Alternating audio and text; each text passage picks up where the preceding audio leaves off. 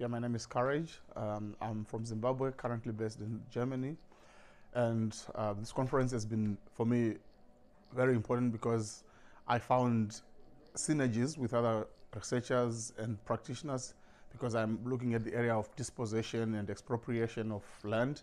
And I found particularly uh, parallel sessions related to this area to be quite important. And there was also another one on corruption, which is quite linked uh, to land governance in the areas that I am looking at. And so with this, I found that uh, being here has helped me to open some avenues and some ideas that I can pursue, and also even some contact pe people that I can later on connect with and network with. Thank you.